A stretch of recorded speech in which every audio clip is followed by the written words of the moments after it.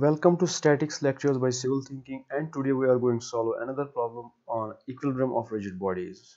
Now before I move on, I suggest to you to please watch the video lectures on equilibrium of rigid bodies in sequence so that you understand better.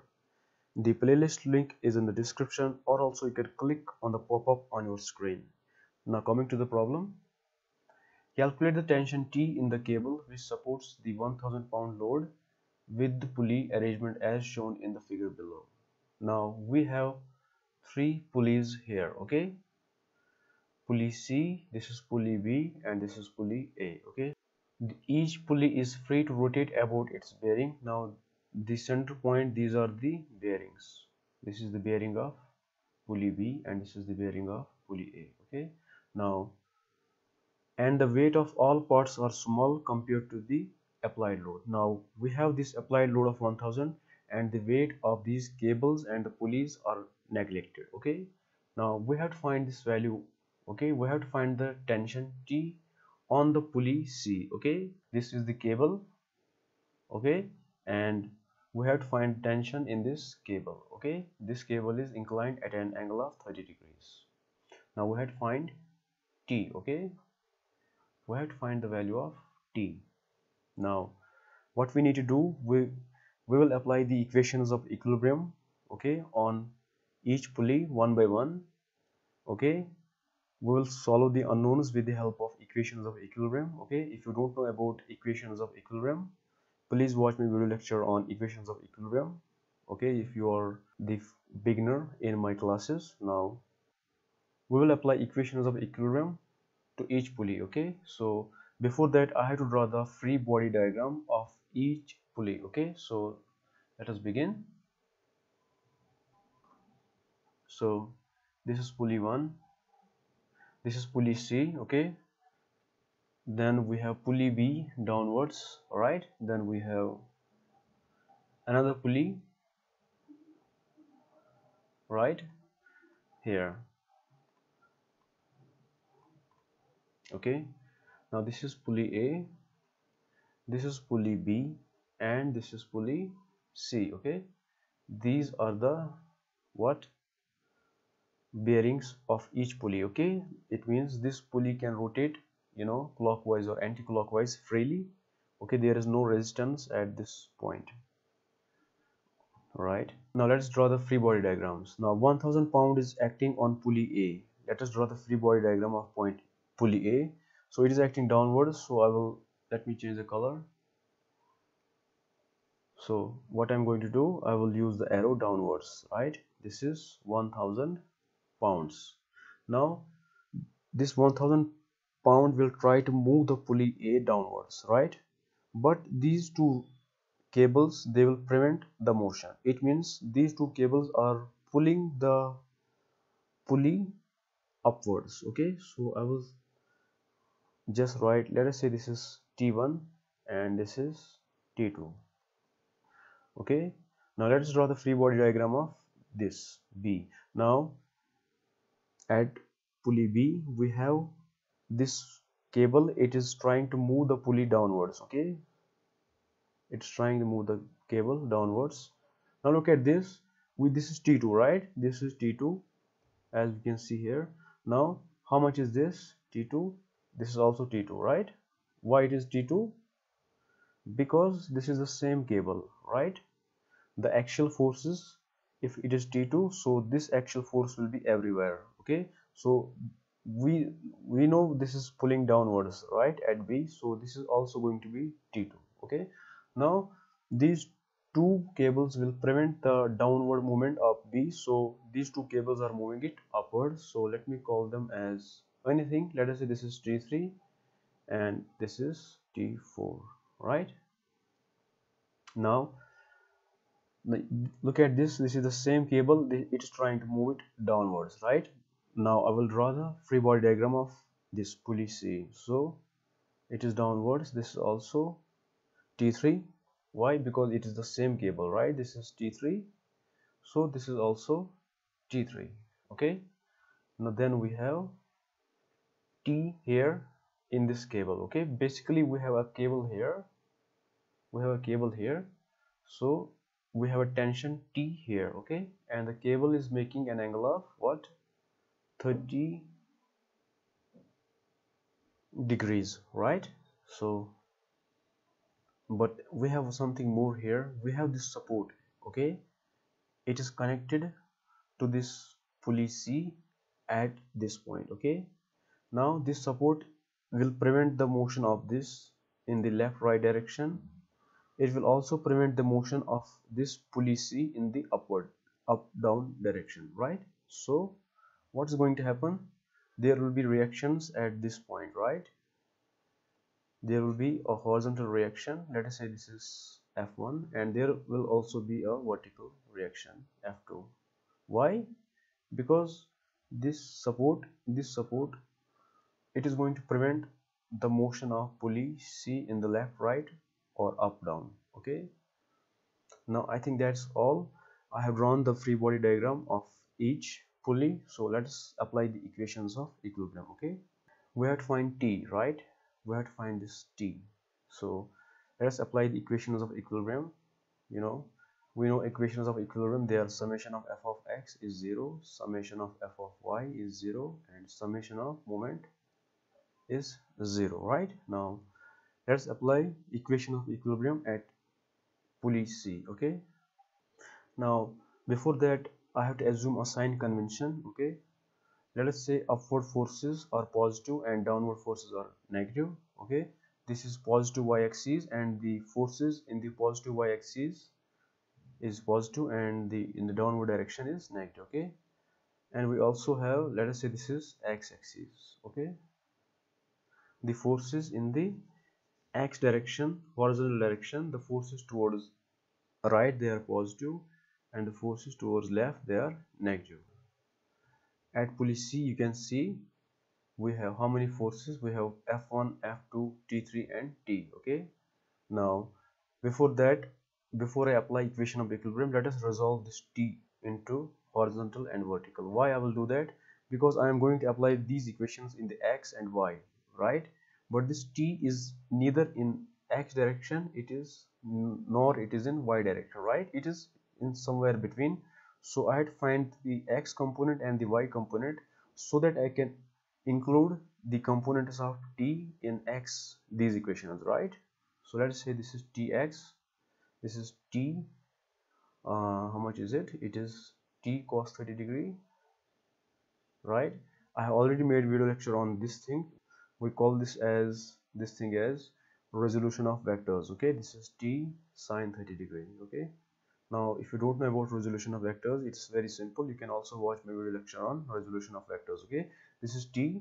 It is making an angle of 30 degrees so it is t cos 30 and the vertical okay? It is t sine 30 now let's apply the summation of f of x equals 0 now let us see the forces along the x-axis we have t cos 30 degree. It is towards right as you can see so it is positive. So t cos 30 degrees. Then we have f1 it is up against this. So against this is negative okay? So minus f1 okay all of it is zero because we only have these two forces in the x direction. Now let's apply summation of f of y equals 0 now t sine 30 is upwards it is in this direction so it is positive anything in this direction is positive right? T sine 30 degree. Then we have t3 which is against this right? Because y-axis is positive y-axis is upwards. T3 is downwards so it is negative. Minus t3 then we have f plus f2 why? Because f2 is in upward direction. So all of it is 0 okay? Now let's apply this equation okay? Summation of moment at the center. Now now this t let us assume the radius of this pulley is r okay? So it is going to be r everywhere right? So when we apply the moment let me assume the clockwise moment as positive and anti-clockwise moment as negative. So this t is going to exert clockwise moment. So it is t multiplied by r. I'm applying finding the moment at this point okay? At the bearing. Then we have t3 right it is going to exert anti-clockwise moment so negative t3 multiplied by r it is 0 okay? Now this r and r will cancel out. So t minus t3 is 0 which gives us t is equal to t3 okay? Now we need to find t right? I don't know but we get t is equal to t3 but we had to find the numerical value of t okay? It means we had to find the numerical value of t3 okay? So i have to apply the equations of equilibrium again on pulley b and pulley a. Why? Because i don't get a numerical value okay?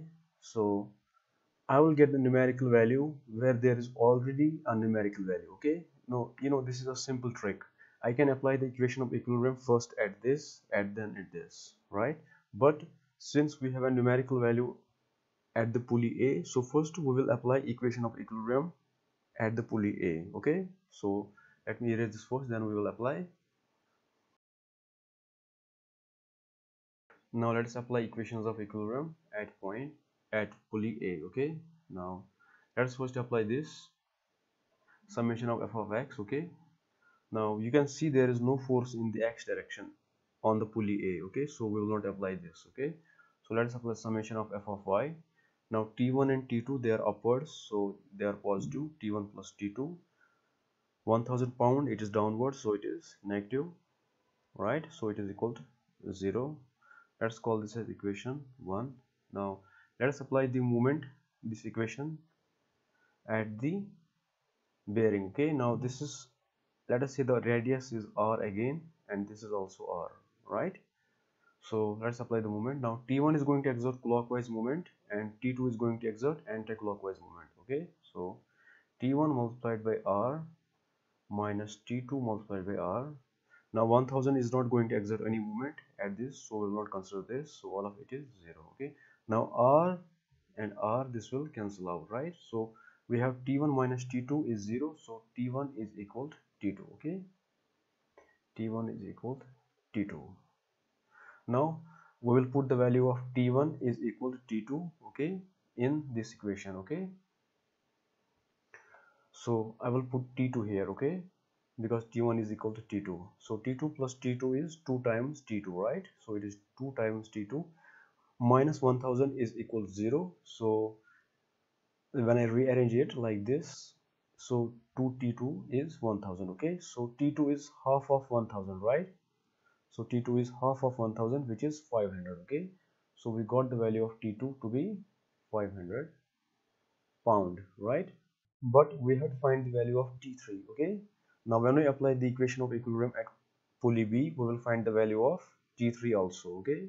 So let me erase this first. Now this is pulley b. As you can see at this pulley b we have only vertical forces okay? So we will not apply this equation okay? We will only apply these two equations right? So let me apply first this equation now we are talking about pulley b right? Now t3 and t4 are upwards so they are positive. T3 plus t4 now t2 is downward so minus t2 it is equal to 0 right? Because summation of f of y is 0 okay? So now t2 is 500 right? So i will put 500 here. Minus 500 is 0 okay? Now when i rearrange it so it is going to be equal to 500 okay. Now let me apply this equation moment equation right? We applied this equation. Now we will apply this equation. Now let us say the radius is r here and the radius is r here. Okay. Let me call this as equation 1 now moment at this point we will apply this equation summation of moment. So t3 is going to exert clockwise and t4 is going to exert anti-clockwise moment. Okay. So due to t3 it is going to be positive. And to t4 it is going to be negative right? If you have any doubts you can comment okay? We will not consider t2 because it is passing through this point. We are finding moment at this point okay? So the moment at this point to t2 is going to be 0 so we will not consider t2 anyways this r and r will again cancel out. So t3 minus t4 is 0 right? So it means t3 is equal to t4 right? T3 is equal to t4 now remember what we had to find we had to find the value of t3 because that is going to be our the value of t right? Because we had to find the tension t okay? So t3 is t4 we will put t3 here instead of t4 because they are equal. So t3 plus t3 is 500 so t3 plus t3 is 2 times t3 right? So from here 2 times t3 is 500 so how much is the value of t3 it is half of 500 right? And half of 500 is what? It is 250 right? So we get the value of t3 to be 250 pounds okay? So t3 is 250 pounds. So t3 is equal to t2 uh, t. So t is also equal to 250 pounds okay so this way we solve this problem.